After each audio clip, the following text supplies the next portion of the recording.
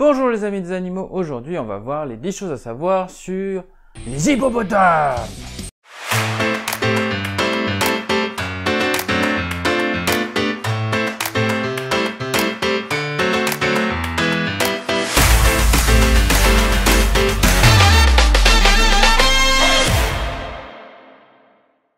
Numéro 1, ses origines.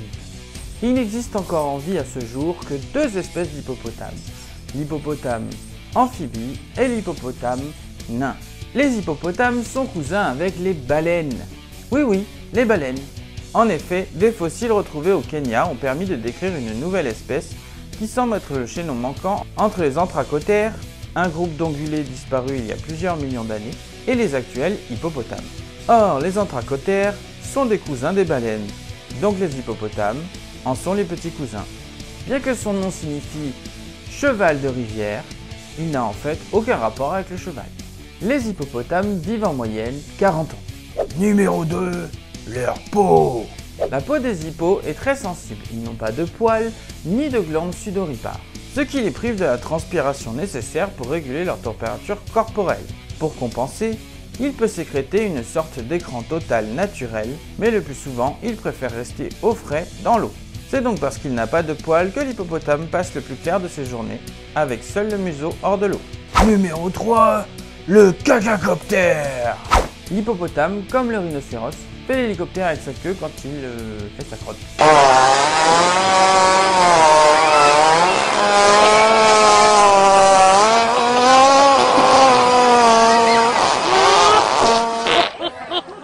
Il existe aussi un rituel de défécation de soumission, dans lequel les hippopotames doivent faire allégeance au mâle dominant du groupe, en se tournant et en déféquant face au museau du chef, tout en dispersant la crotte avec sa queue.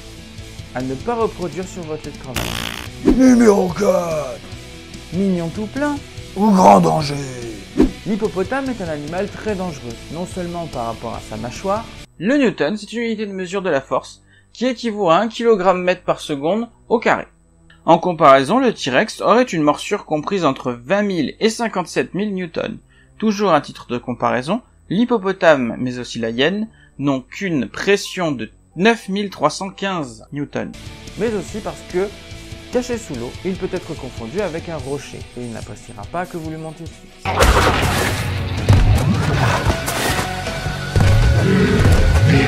Et par conséquent, il peut être très virulent. 12 écoliers du Niger ont ainsi été tués par un hippopotame qui a attaqué leur barque en novembre 2014.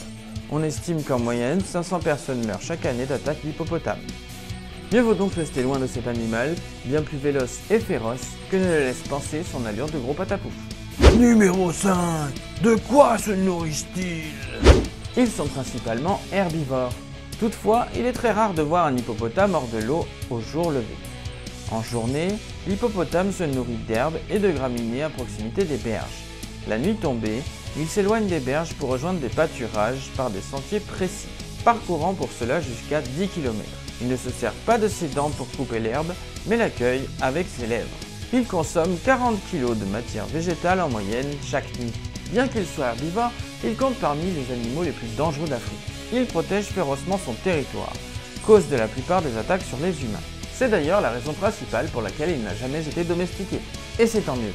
Autrement, des hippopotames ont déjà été vus en train de manger des charognes, voire même d'être cannibales. Cependant, le système digestif de l'hippopotame n'est pas adapté à un régime carnivore. La consommation de viande est probablement causée par un comportement aberrant ou un stress nutritionnel. Numéro 6, la reproduction.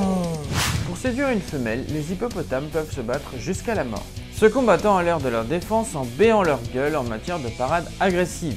Ces défenses peuvent faire d'importants dégâts sur l'adversaire. L'accouplement de l'hippopotame commun se passe sous l'eau. La femelle est alors complètement immergée, seules ses narines sortent de l'eau. Comparativement aux adultes, le jeune est minuscule à la naissance. 30 kg pour 40 cm de long, alors que la mère fait près de 2 tonnes. La croissance est très rapide et à un an, le jeune pèse déjà 500 kg. En cas de naissance de jumeaux, l'un des jeunes est nourri tandis que l'autre est abandonné. Numéro 7, un hippopotame. Qu'est-ce que c'est? Ce sont des animaux aquatiques massifs en forme de cylindre. L'hippopotame commun mesure donc 1m50 au garrot. Les femelles mesurent entre 2 et 3 mètres de long et pèsent de 1 à 2 tonnes. Et les mâles mesurent de 3m30 à 3m75 de long et pèsent 2 tonnes 5 à 3 tonnes 5 voire même jusqu'à 4 tonnes 5 pour les plus gros. Alors que l'hippopotame nain ne mesure qu'un mètre au garrot pour 1m50 à 1m75 de long et un poids de 170 à 275 kg. Leurs pattes forment des piliers et possèdent 4 doigts. Les pattes de l'hippopotame nain sont plus déliées et nettement plus adaptées à la marche. Les quatre doigts sont libres, n'étant pas reliés par une membrane et les ongles sont pointus. Sur Terre, il est capable de courir à plus de 30 km/h. Il possède une tête massive à la large gueule pouvant s'ouvrir jusqu'à 180 degrés, avec à l'intérieur des défenses imposantes qui peuvent mesurer plus de 60 cm chez les hippopotames amphibies mâles. Leurs yeux, oreilles et narines sont placés au sommet de la tête. Leurs narines peuvent se fermer par contraction lorsqu'ils plongent, ce qui s'avère très pratique dans leur mode de vie amphibie puisqu'ils peuvent ainsi éviter l'entrée d'eau dans leurs poumons. De même, leur conduit auditif se bouche lorsqu'ils se déplacent sous l'eau. Les deux espèces diffèrent notamment par la taille des oreilles. Les arcades sourcilières sont beaucoup plus prononcées chez l'hippopotame amphibie. Les testicules du mâle se trouvent à l'intérieur de la cavité abdominale comme chez le rhinocéros. Les mâles sont reconnus pour avoir une apparence plus grisâtre que celle des femelles qui ont une teinte tournant vers le violacé. L'hippopotame amphibie vit en grand groupe dominé par un mâle polygame et irascible tandis que les hippopotames nains vivent en couple ou en très petits groupes. Les hippopotames amphibies passent la journée dans l'eau pour se protéger du soleil, tandis que les hippopotames nains passent la journée cachés en forêt, dans les marais, voire dans des terriers. Certains hippopotames sont accompagnés d'oiseaux qui mangent leurs petits, un petit peu comme le rhinocéros. Mais ainsi, ils enlèvent également un peu de chair. Certains hippopotames peuvent rester marqués. Numéro 8 Une sécrétion protectrice comme dit plus tôt, l'hippopotame sécrète naturellement des composés chimiques en mesure de filtrer les rayons ultraviolets.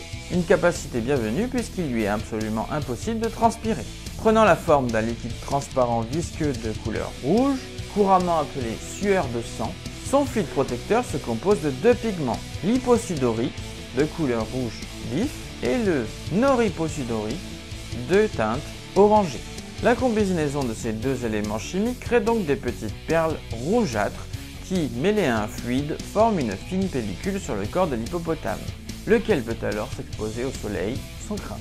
Très épais, ce fluide naturel protège également l'épiderme de l'hippopotame d'éventuelles infections, en neutralisant instantanément la croissance de germes pathogènes, un pouvoir désinfectant qui laisse à l'hippopotame beaucoup de liberté quant au choix de son lieu de vie. C'est pour cette raison que malgré la relative fragilité de leur peau, les hippopotames ne contractent jamais d'infection cutanée, même en se prélassant dans les eaux sales. Numéro 9 A-t-il des prédateurs pour s'opposer à lui? L'hippopotame amphibie n'a pas d'autre prédateur à part l'être humain, en raison de sa taille.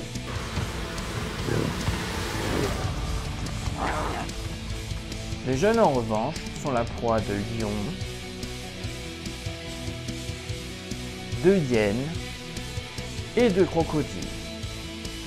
L'hippopotame nain, lui, est la proie du léopard, du python de Séba et des crocodiles. Numéro 10 Une icône On peut voir beaucoup d'hippopotames à la télévision, notamment dans les dessins animés, comme par exemple dans Petit Potam.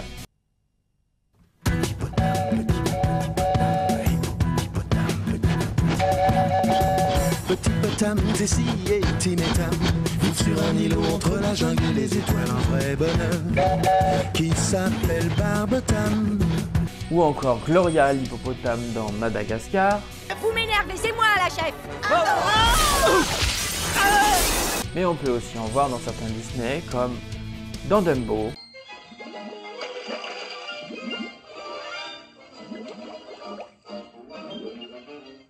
Dans Peter Pan. Dans Le Roi Lion. Dans Robin des Bois.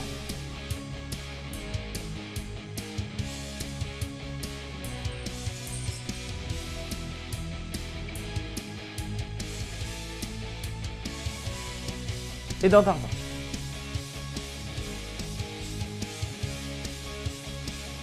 Mais il y a aussi Becht, dans la garde du roi lion. Tu seras bientôt de retour chez toi. Ah, non Regarde Qu'est-ce qu'on fait maintenant? Je crois que j'ai une idée. Ali l'infirmière dans Docteur la peluche. Oh, ça y est, je vais enfin savoir, je suis aussi énervée qu'une grenouille pleine de puces. Et on peut même en voir dans Zootopia.